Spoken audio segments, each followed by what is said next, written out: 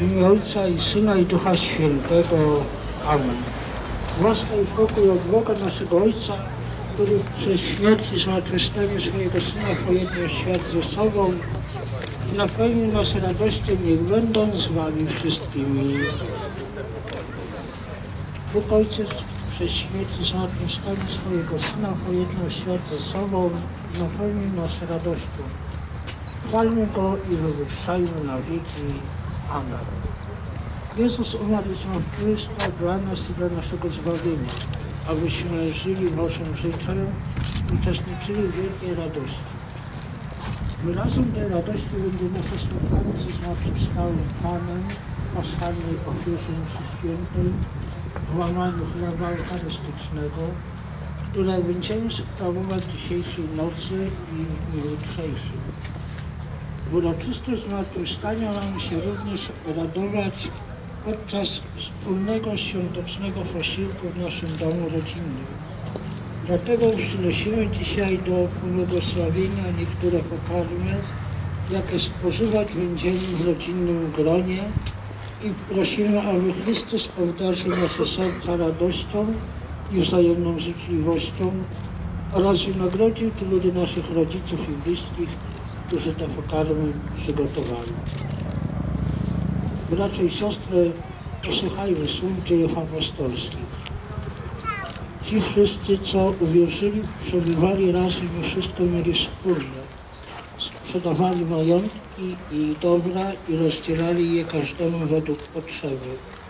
Codziennie trwali jednomyślnie, jednomyślnie w świątyni, a łamiąc chleb po domach, przyjmowali posiłek z radością i prostotem serca.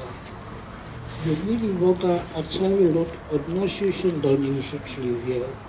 Oto Słowo Boże.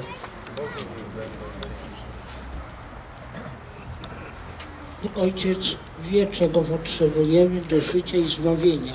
Z ufnością przeto zanieśmy do Niego nasze pokorne prośby w intencjach Kościoła, świata i nas tutaj zgromadzonych. Wołajmy do Niego, wysłuchaj nas Panie, wysłuchaj nas Panie. Módlmy się za wszystkie narody ziemi, aby Bóg zachował je od klęski nieurodzaju, suszy i głodu. Wysłuchaj nas Panie.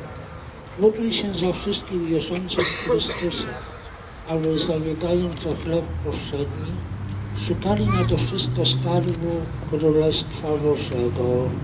Się za rządzących państwami, aby dóbr tej ziemi nie trwonili na wojny i zbrojenia, ale sprawiedliwie dbali o chorych, pokrzywdzonych i ubogich. Wysłuchaj. Módlmy się za ludzi starszych i osamotnionych, aby dzięki dobroci sąsiadów i bliskich mogli zaznać radości świąt zmartwychwstania Pańskiego. Wysłuchaj nas.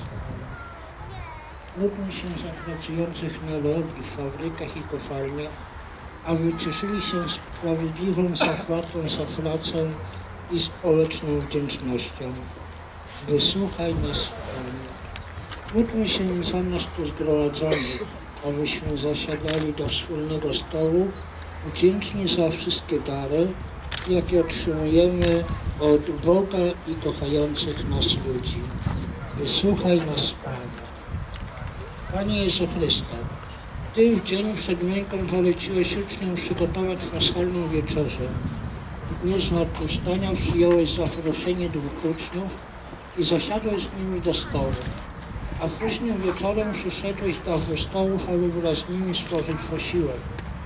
Prosiłem Cię, pozwól nam z wiarą przeżywać Twoją obecność między nami podczas wielkanocnego posiłku, abyśmy mogli się radować udziałem w Twoim życiu i zmartwychwstaniu. Chlebie żywy, który stąpiłeś z nieba i dajesz życie światu. Pobłogosław ten chleb i wszelkie świąteczne pieczywo na pamiątkę chleba, którym nakarmiłeś słuchających Ciebie. Wytrwale na pustkowiu i który wziąłeś w swoje święte i czcigodne ręce, aby go przemienić w swoje ciało. Baranku Boży, Ty pokonałeś zło i obmyłeś świat z grzechu.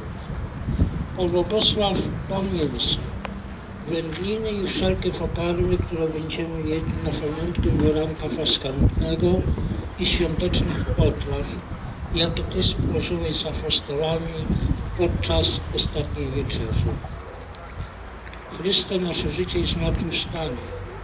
O Bogosław Ty jajka, znak nowego życia, abyśmy dzieląc się z nimi w gronie rodziny, bliskich i gości, mogli się także dzielić wzajemnie radością z tego, że jesteś z nami.